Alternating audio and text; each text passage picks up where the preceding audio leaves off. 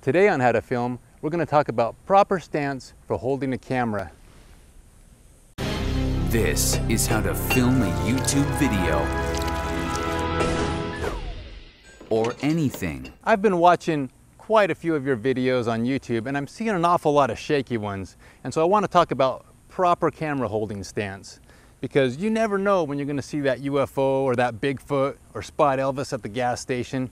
And when you do, you want to capture that footage and you want it to be as good as possible. I can usually tell when someone just got a brand new camera because they're holding the camera something like this. And as they're taking pictures or shooting video, I cringe a little bit inside because I know that video is going to be awful wobbly or shaky. Now, the proper way to hold a camera for handheld shots is to get a nice wide stance first. It's just something, you know, fairly stable like you would in a sport or something like that.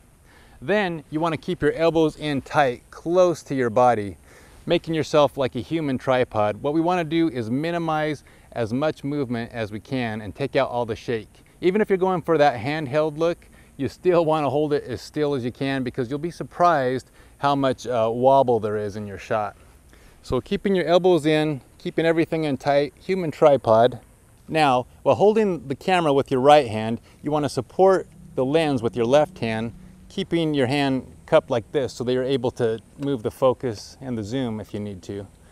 Okay, this uh, left hand is also helping support quite a bit of weight of the camera. If you're taking still shots, you want to actually hold your breath when you pull the shutter.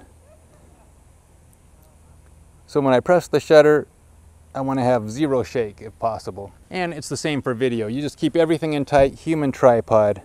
Now, if you have a wall or a tree or something behind you, don't be too proud to lean on that. Use that also for your support and that'll add a lot of stability to your shot. All these same principles apply to filming with a cell phone too. Let me show you.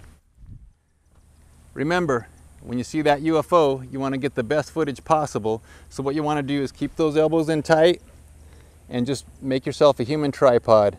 Also, if there's a wall or a rock or something like that that you can lean the camera on, you want to give yourself as stable a base as possible. Because remember, if two or three people are filming this UFO, you want your video to get the most hits. Now, if you're using a shoulder mount camera, still the same principles.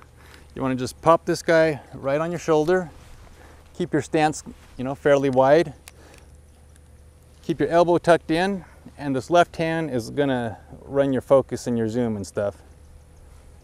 So now you know, whether you're using an ENG camera like this, a DSLR, or even a cell phone, you know how to take a good quality picture. So when Elvis is there, you'll be ready. Thanks for watching. We'll see you next time.